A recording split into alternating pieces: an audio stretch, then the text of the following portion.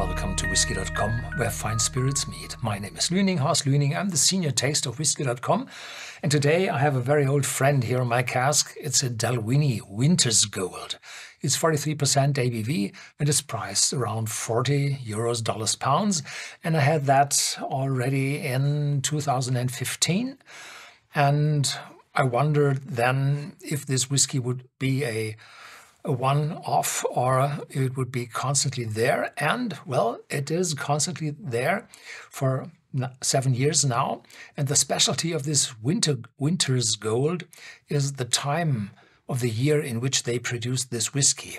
This is done in the wintertime when it's cold outside and the distillation results are better than normal. Hmm, how does that work? Well, uh, if the surrounding is very cold, then the power of the uh, condensers work better.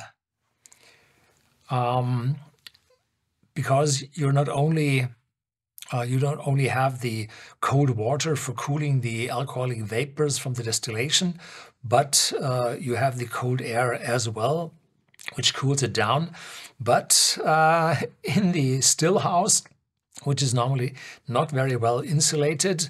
The heat doesn't build up because there's a cold surrounding and Dalwhinnie lies on quite a high altitude at 200, uh, 325 meters above sea level. And in winter you have snow up there on the pass. And then the uh, this still house is quite cold and that means if you start distilling, it takes quite a time until temperatures builds up and uh, you will have a better reflux on the, well, on the shape, on the neck of the pot still.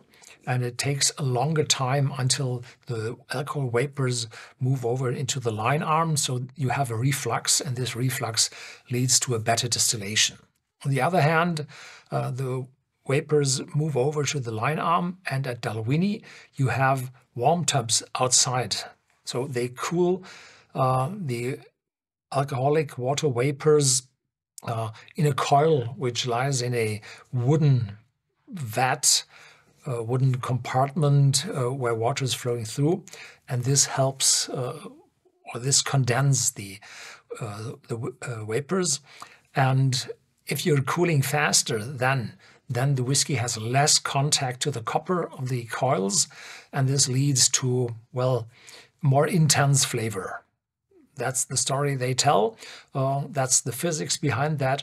I trust them in this uh, matter.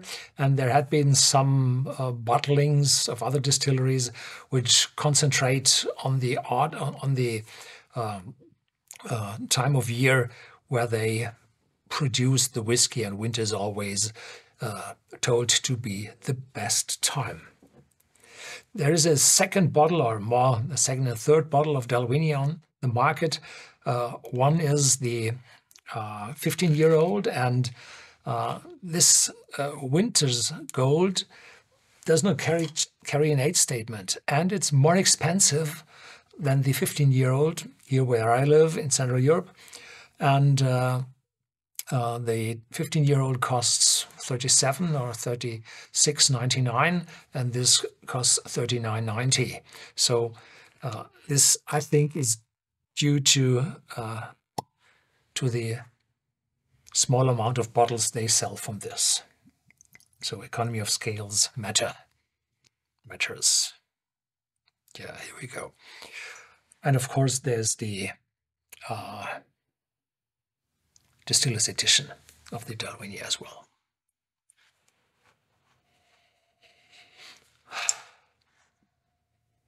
Yeah, intense, full, friendly, quite massive, fruity accents, and very light mental note. Yeah. Lightly cooling, probably a little bit of honey. Yeah, cheers.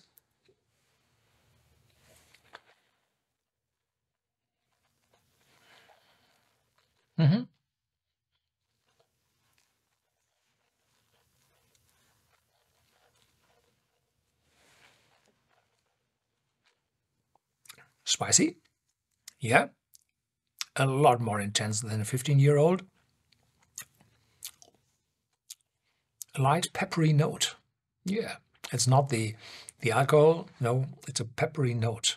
Probably due to this faster cooling, the less contact with the copper. Yeah, the aftertaste, probably a little bit of a winey note. There is some oakiness in it, but not too much, but uh, there's no youthness.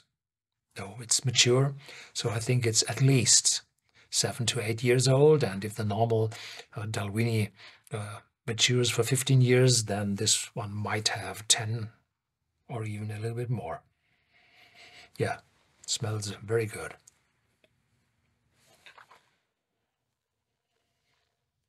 Mm Yeah, a second Dalwhinnie, more intense, more vibrant, not that old and mature, faster on the tongue, more power. yeah, that's it for today. Thank you for watching. Stay tuned.